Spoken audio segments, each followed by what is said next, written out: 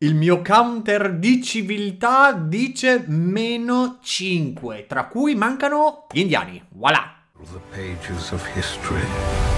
It was an age of empires.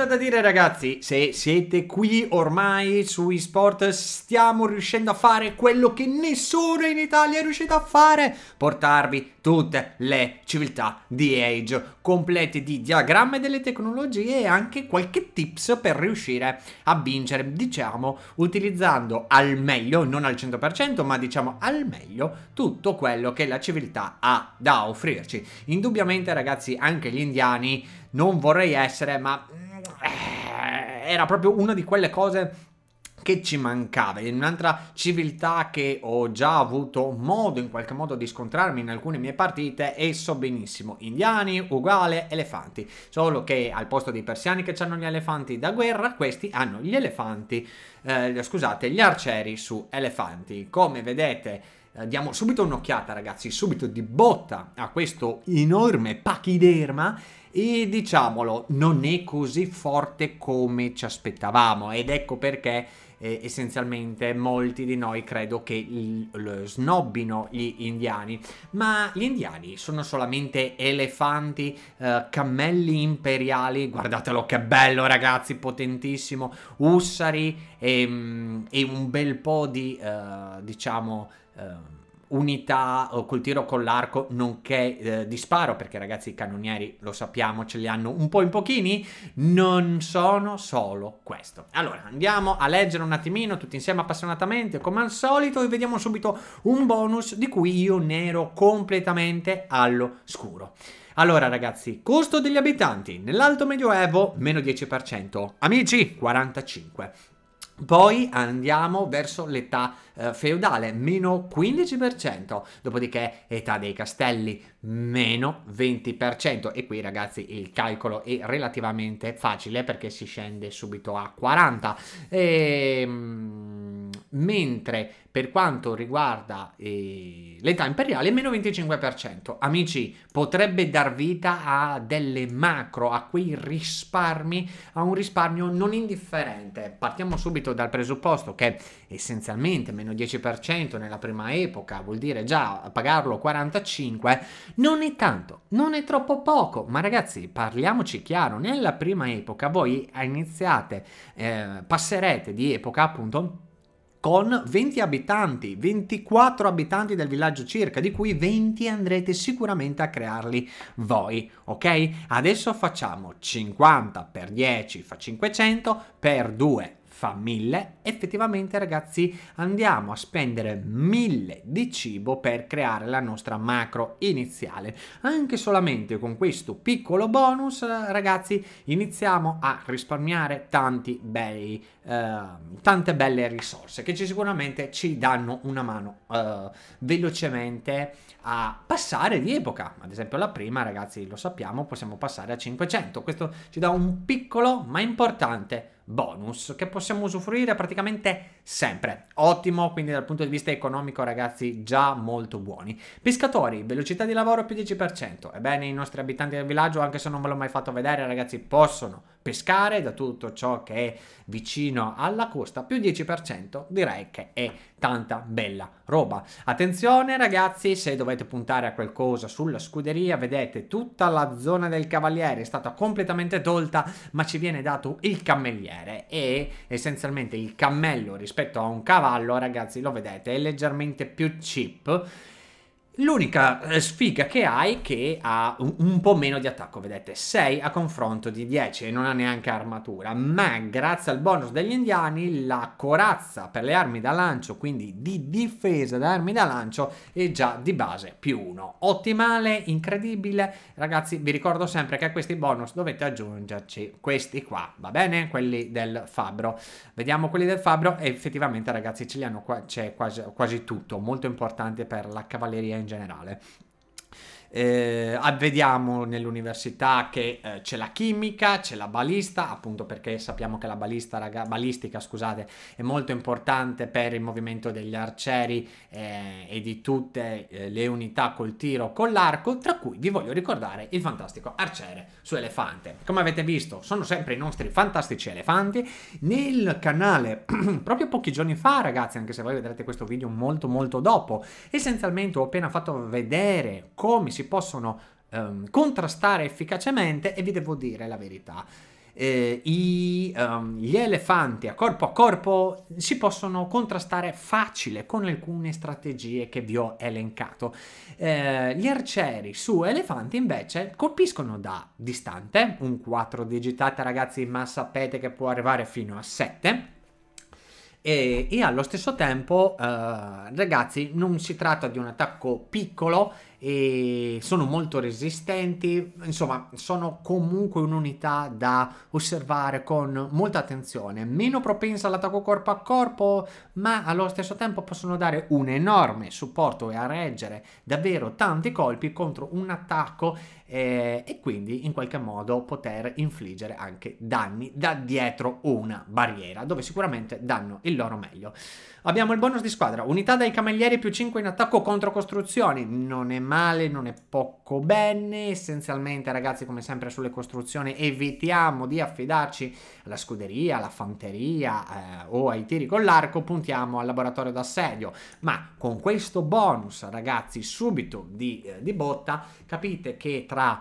Um, eh, con i cammellieri, ok, che sicuramente è una truppa importante, molto importante per i nostri amici indiani, riuscirete a buttare giù una costruzione in men che non si dica. Ottimo, ottimo, ottimo. Guardate che hanno anche la bombarda. Uh, e per ultimo, ma non per importanza, ragazzi, oh, vediamo qua un attimino il porto, hanno praticamente tutto, ragazzi hanno tutto, il galeone, il galeone armato elite, quindi possono sparare da lontano, hanno le mura fortificate, hanno la torre da guardia, ma abbiamo poi le tecnologie. Uh, le tecnologie come il sultani, uh, tutte le entrate d'oro sono più 10% rapide, ottimale. E con tutte ragazzi immagino che si tratti anche di economia, immagino che si tratti anche di reliquie, immagino che si tratti anche di velocità di estrazione per i nostri um, abitanti del villaggio.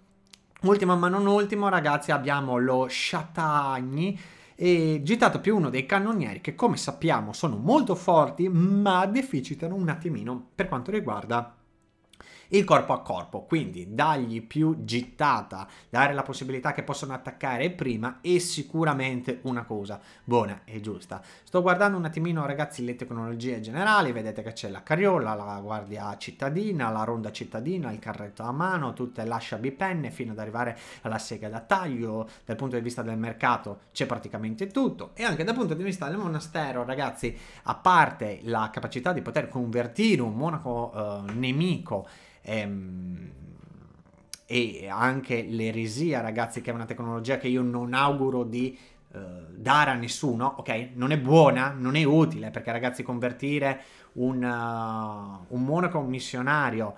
Eh, sì, scusate, le unità convertite da un monaco missionario muoiono invece di passare, eh, muoiono invece di passare nelle nostre linee nemiche. Secondo me è una tecnologia assolutissimamente, totalmente inutile. Eh, ragazzi, mi stavo incartando.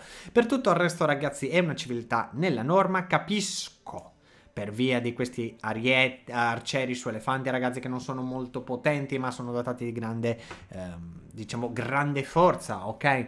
Eh, capisco che non sono molto usate, ma sono molto curioso di vedere cosa riesce a fare un bel gruppo di cammellieri. E voglio proprio puntare su fare un bel gruppo di cammelli e uh, riuscire a bilanciarli, dargli un buon supporto con un bel po' di area di tiro con l'arco. E senza ombra di dubbio ragazzi è la strategia migliore. Se poi vogliamo metterci anche un po' di fanteria, vediamo che fino al campione della barriere ci siamo, io dico che possiamo fare grandi cose mischiando un attimino queste tre truppe. Andiamo un attimino a vedere cosa riesco a combinare.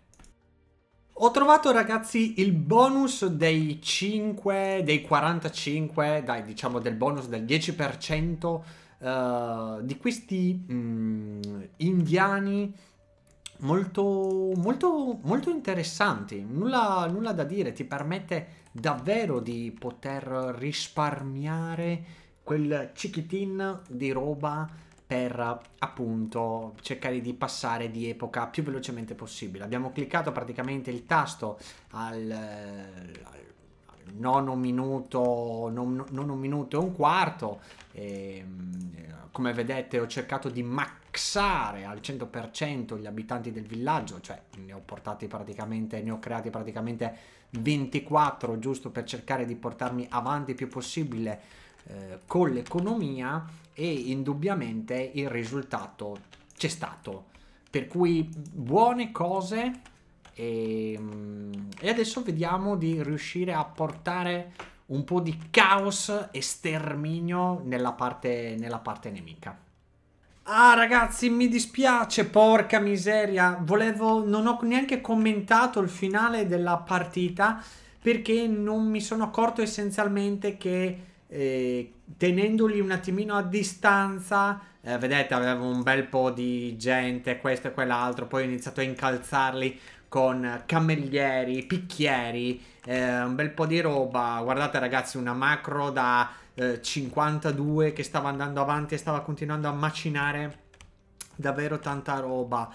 Eh, giuro, non li ho neanche attaccati in medio, ragazzi. Essenzialmente cadono come mosche. Volevo anche portare eh, qualche piccolo elefante. Mi dispiace davvero tanto, ma essenzialmente anche qui vi ho dato prova uh, di come, sebbene questa civiltà non spicchi in tante cose, ma essenzialmente spicchi quanto in velocità, gestione, raccolta delle risorse, o per meglio dire la crescita della macro, ragazzi, che adesso, come vedete, da, uh, dal costo degli abitanti era diminuito fino a 40 e indubbiamente questo ha aiutato davvero tanto a recuperare una montagna di risorse. Andiamo a vedere quante statistiche per piacere. Eccole qua ragazzi, guardate.